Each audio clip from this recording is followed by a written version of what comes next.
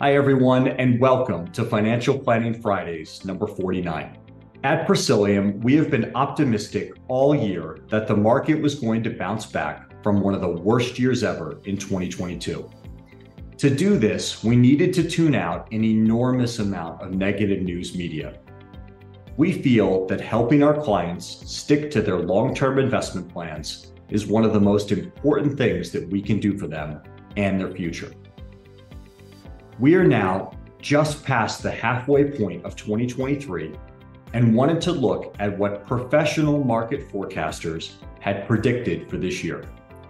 We looked at the targets set at the end of last year made by some of the largest investment companies in the world. These companies have thousands of experts with access to almost any piece of financial data imaginable in order to make these forecasts. Many of them have PhDs and other advanced degrees from the top universities. Their forecasts are read by hundreds of thousands of people all around the world.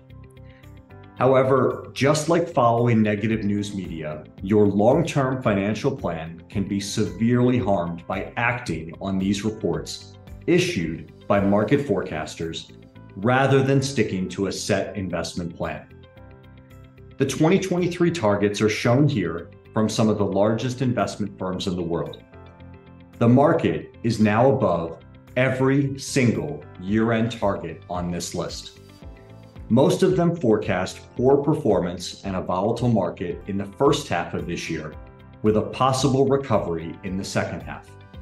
Warren Buffett wrote in his 1992 shareholder letter that the only value of stock forecasters is to make fortune tellers look good.